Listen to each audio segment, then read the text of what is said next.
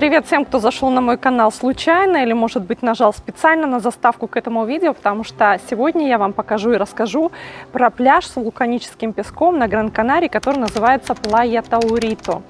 На самом деле люди, приезжающие сюда, на Канары, не сразу понимают, в чем прикол, в чем эксклюзивность пляжей с темным песком. Я вам хочу сказать так, что Канары с 70-х годов – это излюбленное место всех европейцев, проживающих в Северной Европе в основном, чтобы перезимовать и не просто пересидеть зимние месяцы здесь на Канарах, но еще и подлечить свои некоторые проблемы.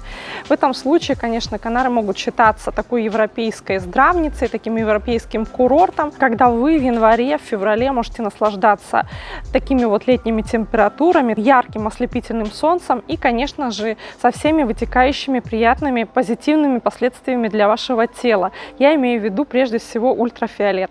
Итак, сегодня мы посетим пляж Таурито. В отличие от локальных жителей, я, если мне удается выкроить место в рабочем графике, выбираю времяпрепровождения не возле бассейна, а все-таки на пляже, в натуральной среде, там, где пахнет морем. Сегодня мы посетим это место, которое я буду рекомендовать для семейного зимнего отдыха, потому что речь пойдет не только о пляже. Вы увидите, что окружает Плая Таурито. Это прежде всего спокойные туристические комплексы, есть небольшой аквапарк э, Лагу Таурито и неплохая инфраструктура, которая совсем не шумная, которая располагает приятному бесстрессовому отдыху, когда нет ни ирландских, ни английских баров, где вы постоянно постоянно каждую ночь слышите оглушительную музыку. Нет.